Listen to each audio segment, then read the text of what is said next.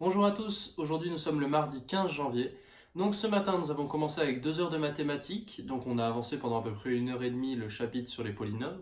Donc on a vu les racines d'un polynôme et le théorème de D'Alembert-Gauss. Et la dernière demi-heure on a fait des exercices voilà, bah, pour, euh, pour avancer sur ce chapitre. Ensuite, à la place d'avoir physique, TSI et l'après-midi MS, on a eu que de la physique pour attraper des heures de la semaine dernière vu que le professeur était absent. Donc ce matin, on a terminé le chapitre sur les oscillateurs mécaniques. Donc euh, la dernière partie qui nous manquait, c'était euh, le mouvement conservatif autour d'une position d'équilibre stable. Donc voilà, les deux heures, ça nous a bien occupé et on l'a terminé. Du coup, ce midi, après colle d'anglais, donc la colle d'anglais sur la société de consommation et enfin plutôt de surconsommation, sur le fait bah, qu'on ne se satisfait pas en général des besoins primaires qui sont boire, manger et respirer, qu'on a toujours besoin d'avoir de nouvelles choses, etc et que ces nouvelles choses ont un prix, que les richesses appartiennent aux, 20% de la population la plus riche et que ça représente 80% des richesses. Enfin voilà, 80% euh, des, richesses pour 20% seulement, c'est pas égalitaire.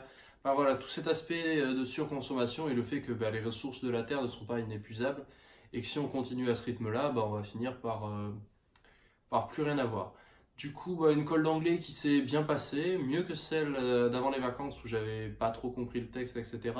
Là, c'était une colle, on va dire, à peu près bah, voilà, classique. Euh, j'ai à peu près bien compris le texte dans l'ensemble, je pense. L'entretien avec la, professeure s'est bien passé.